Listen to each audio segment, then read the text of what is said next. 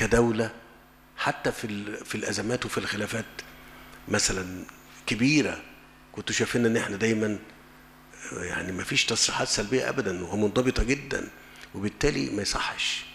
إن إحنا يعني نسيء لأشقائنا ومش هقول نسيء بقى وما ننساش.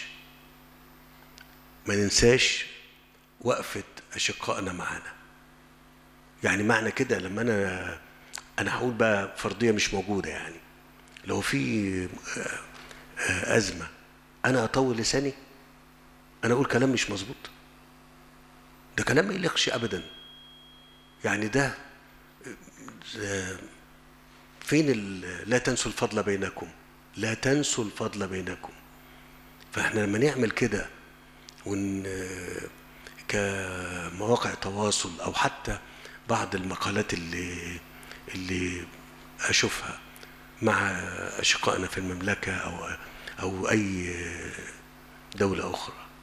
المملكة العربية السعودية أنا بتكلم. لا لا.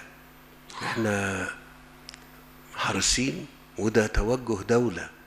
وأرجو إن إحنا كلنا كمواطنين ننتبه إن إحنا لا ننساق ورا مواقع تقصد الفتنة بينا.